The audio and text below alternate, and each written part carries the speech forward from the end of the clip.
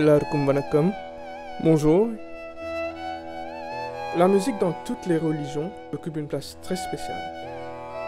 Dans l'hindouisme par exemple, la musique carnatique classique est dite la forme la plus sacrée et accessible de louange.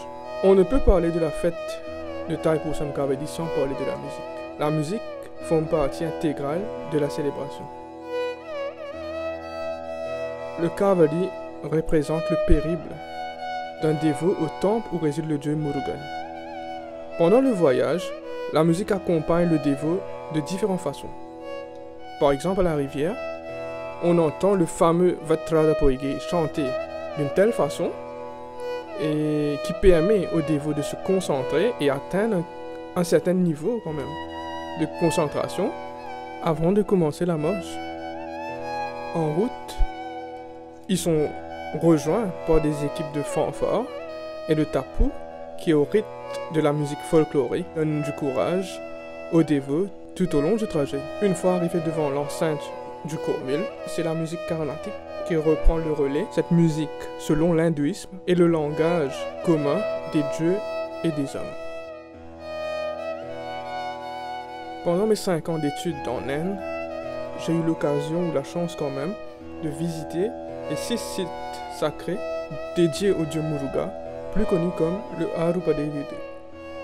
Donc, aussi du fait que la musique carnatique est hautement associée à la religion et aux textes sacrés, je me suis retrouvé à étudier le Skanda Puranam.